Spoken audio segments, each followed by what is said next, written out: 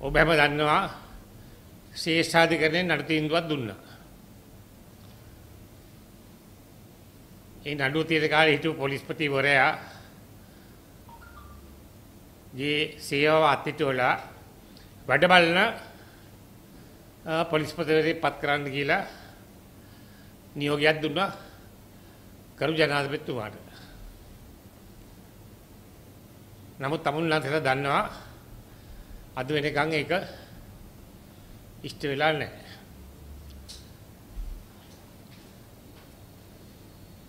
ගරු ජනාධිපතිතුමත් නීතිඥවරයෙක්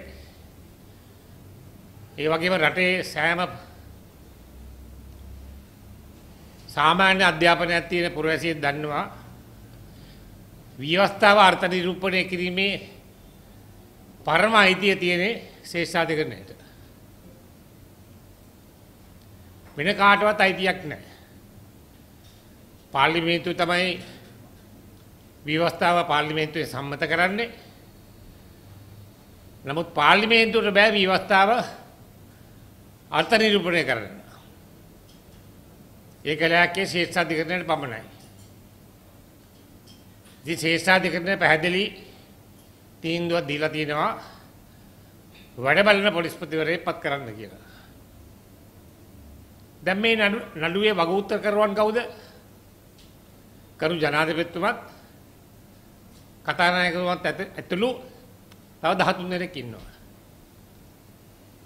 දැන් මේ ශේෂ්ඨාධිකරණයේ අර්ථ නිරූපණය ක්‍රියාත්මක කරන්නේ නැතුව මේ වග උත්තර කරුවන් විවිධ ප්‍රකාශ නිකුත් කරනවා. මුලදී කිව්වා අග්‍රනීශකාරතුමයි කතානායක වරයයි ජනාධිපතිවරයයි සාකච්ඡා කරලා මේක විසඳන්න ඕන කියලා. දැන් කියනවා ඒක පොඩ්ඩක් වෙනස් කළා. කතානායකවරයයි ජනාධිපතිවරයයි මේක සාකච්ඡා කරලා විසඳන්න ඕන කියලා. මේවා බාලාංශ කතානේ. නඩුවක විත්තිකරුවන්ට නඩුවක වග උත්තර කරවන්න පුළුවන්ද? විසඳුම දෙන්න. මේගොල්ලෝ වග උත්තර කරුවෝ. මේගොල්ලෝ මේ ශේෂ්ඨාධිකරණය නියෝගය ක්‍රියාත්මක කෙරුවේ නැත්නම් අධිකරණයට අපහාස කිරීමේ චෝදනාව අභියසේ ඉන්නේ. කරු ජනාධිපතිතුමාට නම් මුක්තිය තියෙනවා দূරේ ඉන්නකම්. ඒක තව මාස දෙකයි උපරිම. නමුත් කතානායකතුමාට අදටත් මුක්තිය නැහැ.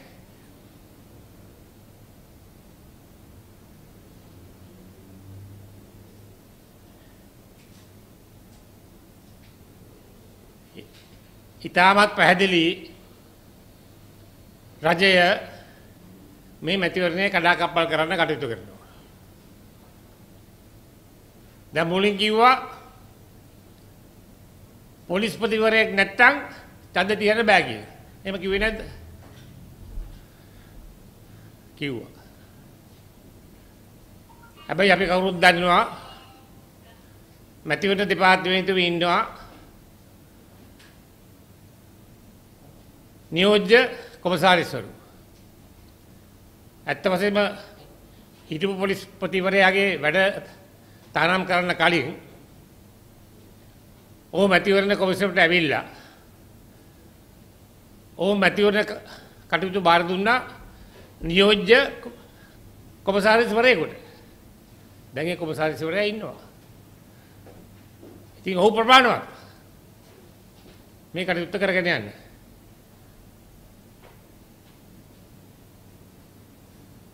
ඒක තමයි මුලදී මැතිවරණ කමිෂන් එකත් කිව්වේ. නියෝජ්‍ය කොමසාරිස්වරයෙක් හිටියොත් ඇති කියලා. දැන් මොන හේතුවක් නිසාද මන් දන්නේ මන් දැක්ක අද පත්තරෙත් තියෙනවා. ජනාධිපති ලේකම්ට ලියුමක් ලියනවා. එක්ක පොලිස්පති නැත්නම් වැඩ බලන පොලිස්පතිවරයෙක් පත් කරන්න කියලා. ජනාධිපති ලේකම් ඉතින් අපේ අපි දන්නා අඳුරන පුද්ගලයෙක්. ඕ කොමසාරිස් ඔහු මැතිවරණ කොමසාරිස් කියන්නේ කරයිද? ඔහු කරන්නේ ජනාධිපතිතුමා කියන්නේ. ඉතින් ඔහුට ලියුම් ලියලා වැඩක් තියනවද?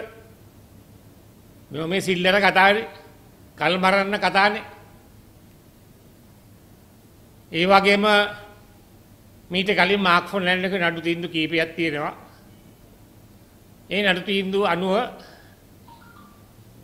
මැතිවරණ කොමිසමට සම්පූර්ණ බලය තියෙනවා නියෝජ්‍ය කොමසාරිස්වරු හරහා මේ කටයුත්ත සිද්ධ කරන්න.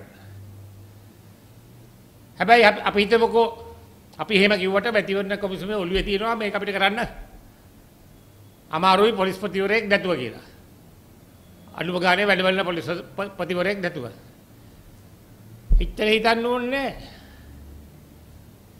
රාහු කාලේ වෙනකන් ඉන්න ඕනේ නැහැ. හෙටම ශ්‍රේෂ්ඨාධිකරණයට පැසුමක් ඉදිරිපත් කරන්න. හෙට ශ්‍රේෂ්ඨාධිකරණයට පැසුමක් ඉදිරිපත් කළා කිව්වොත්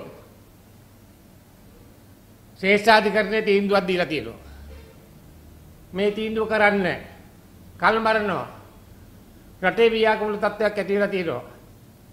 මැතිවරණේ තියයිද නොතියයිද කියලා මතයක් මේ රටේ ඇති වෙලා තියෙනවා. අපිට වහාම ශ්‍රේෂ්ඨාධිකරණයේ විසඳුමක් ලබා දෙන්න. මොකද ව්‍යවස්ථාව අර්ථ නිරූපණය කරන්නේ ශ්‍රේෂ්ඨාධිකරණය. ඔවුන්ට පුළුවන් වහාම මේ ප්‍රශ්නට විසඳුමක් ලබා දෙන්න. ඉතින් ඒව නොකර වෙනත් දේවල් කරලා වැඩක් නැහැ. ඉතින් මම මැතිවරණ කොමිසමේ සභාපතිවරයාට කියනවා වහාම අද හෙට මම කලින් කී ආකාරයට ශ්‍රේෂ්ඨාධිකරණයට ප්‍රතිසමක් ඉදිරිපත් කරන්න. මට විශ්වාසයි මේක හදිසි කටයුත්තක් නිසා. ශ්‍රේෂ්ඨාධිකරණය මේක දවසකින් දෙකකින් විභාග කළා.